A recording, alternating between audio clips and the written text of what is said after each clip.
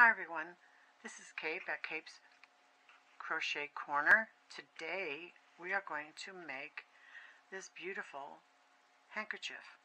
Now, of course, the handkerchief is already made and it actually is comes with these little holes in there for your crocheting pleasure.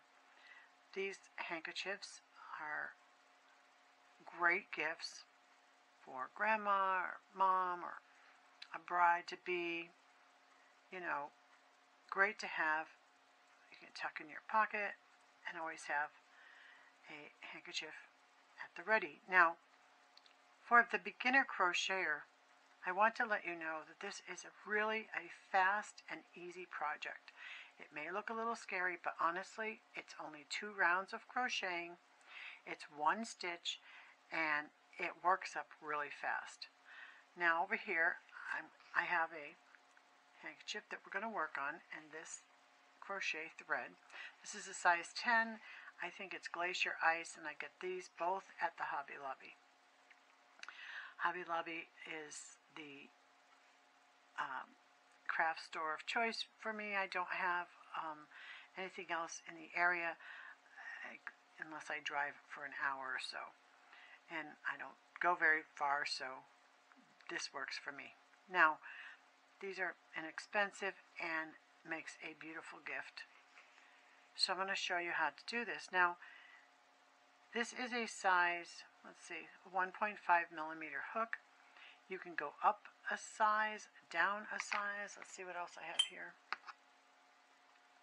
This is uh, a 2.5. That's a little bit big. Let me see what else I have here. Um, see, this one is 9. That's a little small for a size 10 thread.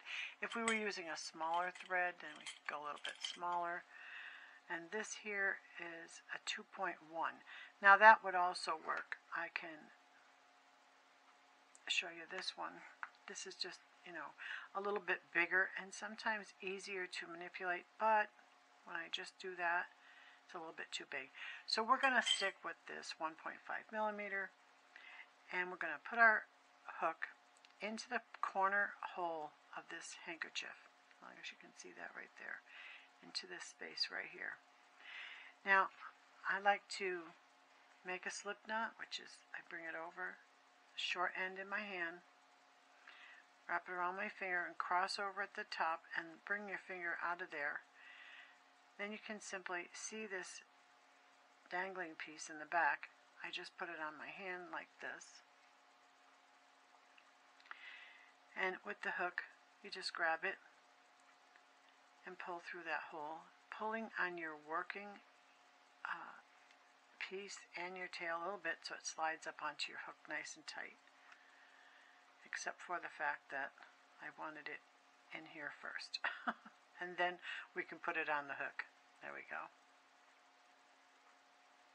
alright now let me unwind that okay so all we're going to do is we're going to pull through into, through that hole right there and we're going to chain one and two. Now this is going to be our beginning half double crochet. Let's see if you can see here. Okay. We need to put two more half double crochets into this space. So we're going to wrap our thread around our hook and insert through this hole. Wrap your thread around your hook and pull through. Now you have three loops on your hook. Now for a half double crochet we're just going to wrap our thread and pull through all three loops on our hook. And there you have your half double crochet. So now we have that chain up two, which is our first, and our second, and we need one more, so we're going to wrap the thread around the hook, insert it into this corner space, wrap the thread and pull through. Now we have again three loops on our hook, wrap your thread and pull through all three loops on your hook. Now we're going to put one half double crochet in each of these holes across our handkerchief. So it's easy as that. We're just going to wrap your thread. Always remember to wrap your thread. Insert into this first space. And again, wrap your thread and pull through and pull up just a little bit so you can see all three loops. Wrap your thread and pull through all three loops to make your half double crochet. And we're going to do that across. So wrap your thread into this space, wrap your thread again and pull it through, and then wrap your thread and bring through all three loops on your hook. And that makes a half double crochet. So you're going to do that all the way until we get to the next corner. So here we go. One more time and then I'll let you do that across. So you're going to wrap your hook around the thread. Oops. Yes, wrap your, I'm sorry. Wrap your thread around your hook. Insert it to the next hole wrap your thread and pull through and pull through all three loops on your hook okay. One more time. Wrap your thread around your hook. Insert it into that little hole. Wrap your thread and pull through. And wrap your thread and pull through all three for a half double crochet. And that's all there is to that. So we're going to do that all the way across and I'll meet you up at the next corner.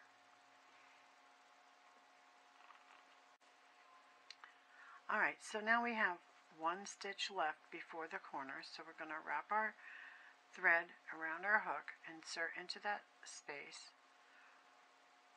wrap your thread, pull it through. You have three loops on your hook, You'll be able to see that, and wrap over and pull through all three.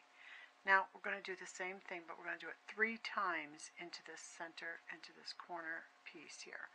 So wrap your thread, insert your hook into that space, wrap your thread, pull through, and wrap your thread and pull through all three loops on your hook. And again, wrap your thread, insert into that center hole there, and pull through. One more time, wrap over, insert your hook, wrap over, pull through, and wrap, wrap your hook, and pull through all three loops on your hook.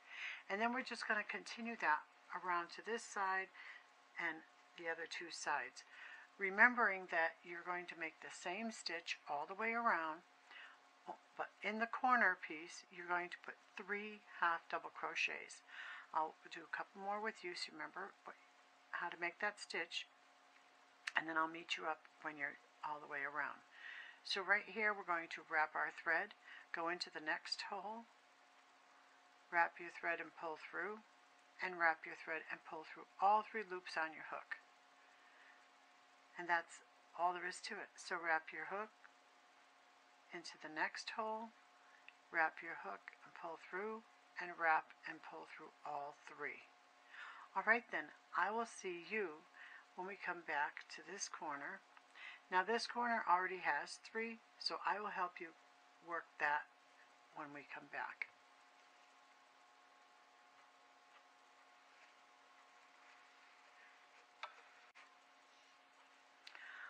Alright, so now we're back all the way around with that half double crochet in every stitch all the way around.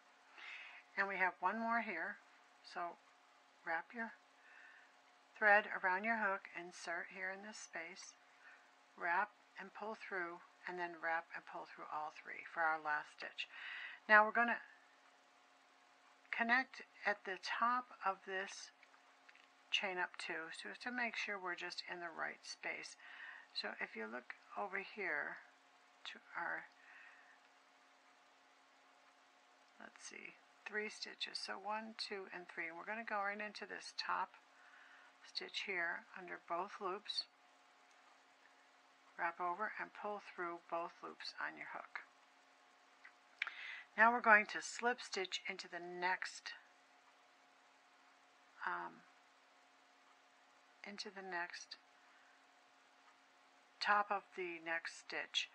We want to be in the middle of those three stitches. So we're going to wrap over and pull through and pull through for a slip stitch. So now we're going to again chain up two, one and two. And in this same space, it's going to be a little tight, you're going to put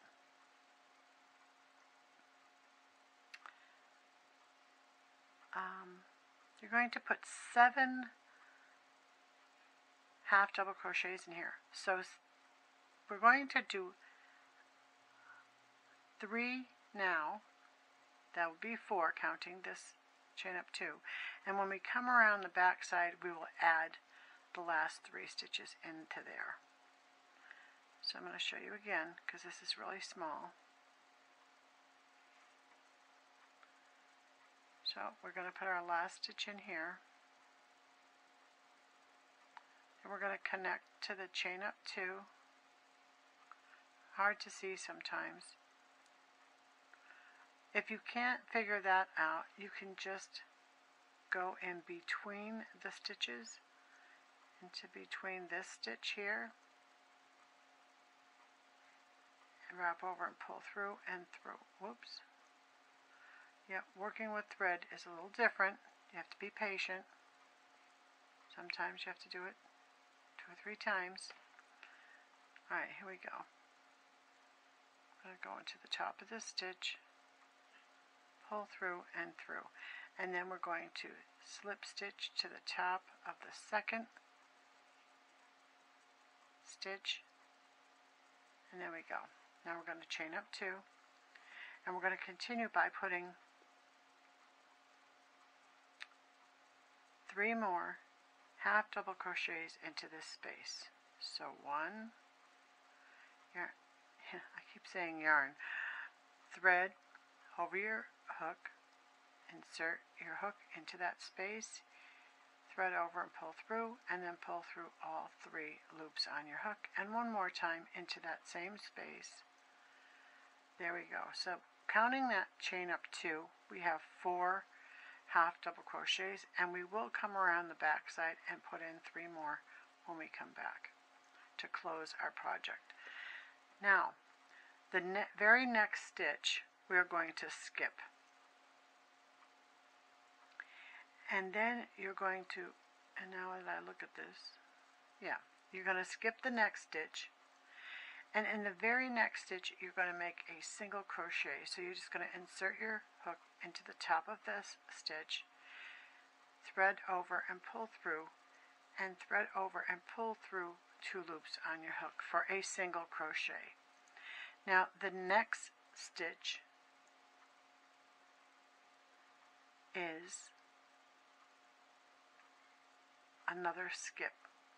So you're going to skip one, single crochet, skip one.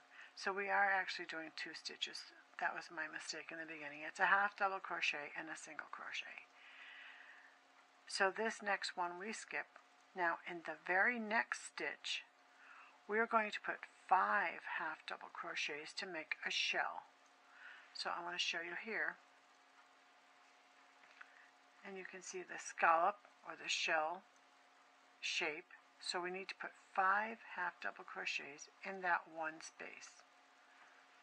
So we're going to start here.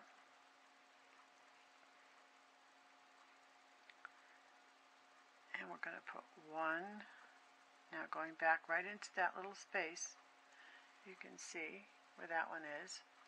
We're going to put four more. So thread over, insert your hook into that space, grab your thread and pull it through and pull through all three loops on your hook. That's two and three and four and five. Now working with thread versus yarn, it's it's a little bit slippery to hold on to. It slips through your fingers. It's it's a little bit more difficult. So I tend to wrap twice on my index finger and I will let go as I need to and then come back for more tension so that you can keep your stitches over here pretty snug. When too much tension is over here, your loops over here will become bigger and it, it's not as uniform. So you would like to keep a little more tension when you're working with thread you can go around once, twice, three times on your finger to keep that tension snug. Now, here's where you're going to have to be a little careful. When you work in the five stitches in that stitch, it's not this loop here that you're seeing, it's this slanty one over here. So when you skip, you have to be careful, to, you're skipping the right stitch. So the best way is to take it off your hook and straighten it out and you'll see that the next stitch is here very close to the bottom of this. So you want to skip that one that's kind of opened up there. Not this over here but right here. And then you're going to single crochet into the next stitch. So you just insert your hook in there thread over and pull through and thread over and pull through the two loops on your hook. And again we're going to skip the next stitch. It's so tiny hard to see. So this one here not this right here but this one the very next stitch. And we're going to yarn, uh, th thread over insert your hook into the next stitch. Grab your thread and pull it through and now you have three loops on your hook and grab and pull through all three and we're going to do that four more times into that same space. So two, three, four. So let's count. One, two, three, four, and five. So you need to have five half double crochets in that space. So you can see your scallop is beginning to take form. Now we skip the next stitch and single crochet in the following stitch. Now, I'm going to show you how this right here looks. If you can see, this is all kind of loosey-goosey here. So that's because my tension had fallen away. So I'm going to take that out and grab that thread tighter, skip this stitch, and single crochet into this stitch and now you can see that there's no big loops hanging there.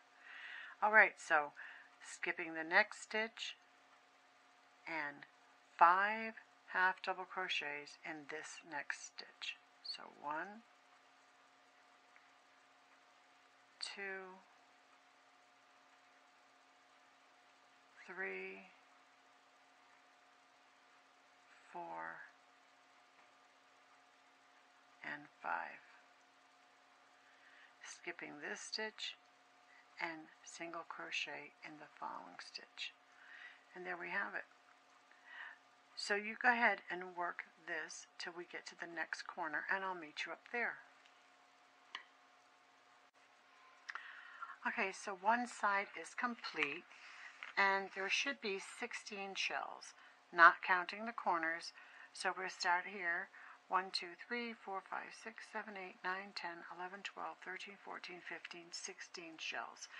Now again in this corner I started over here in the middle stitch if you're going to skip one on the end you know as a beginner if you have one stitch left in the side or two stitches just ignore the very last one if you have an extra one and go to your middle stitch of your corner. And we're going to do seven I'm going to pull this out so you can see. Seven half double crochets in this corner. So wrap over insert your hook into that middle stitch. Wrap over and pull through and wrap and pull through all three loops on your hook. Now we need to do six more into this little space right here if you can see that that little space so wrap over, insert your hook, wrap over, pull through, wrap and pull through three. Wrap over, insert your hook, wrap over, pull through, wrap over and pull through all three. That's three and four,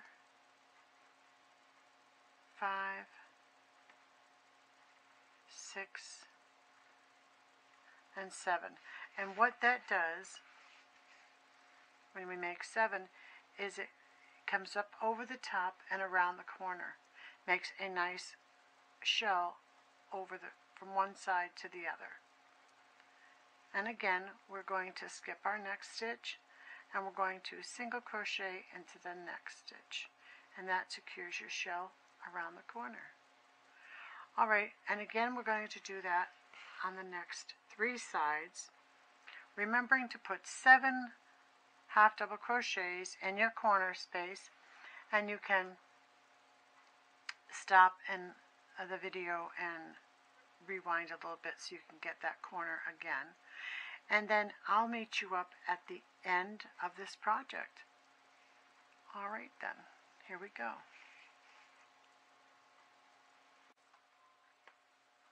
Okay everyone, before we close this project, I just want you to make sure that you've got 16 shells around each side and your corners have seven uh, half double crochets in them.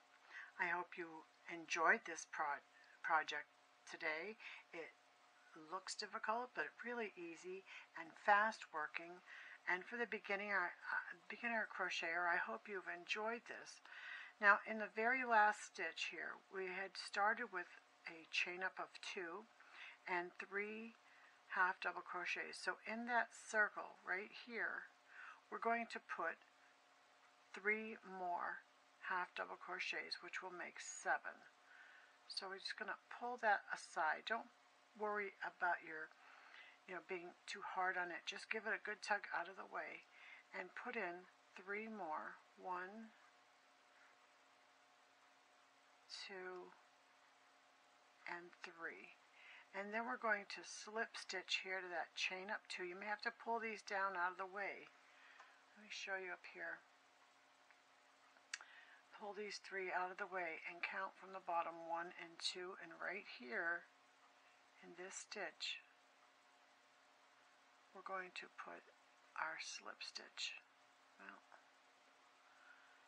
so even advanced crocheters have trouble with that sometimes when you're working with a tiny thing.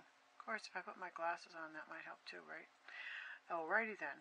So there you have it. You have your nice round circle top on your corner.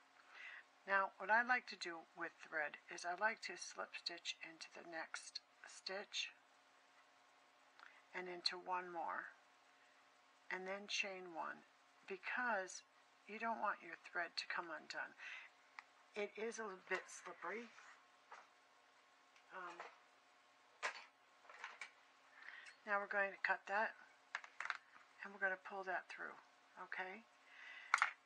Now on the back side, we're going to sew in this this tail. You know, you got to get a, a, needle that's accordingly uh, fitted with your thread. I like to go snug because it it's more apt to stay put. Um, you know, that meaning snug, meaning the eye, eyelet here is not too too too big. Yarn needles are a bit big for this. You can't get underneath the threads. These are a little bit more hard to thread, but you could also use a uh, little threader if you need one.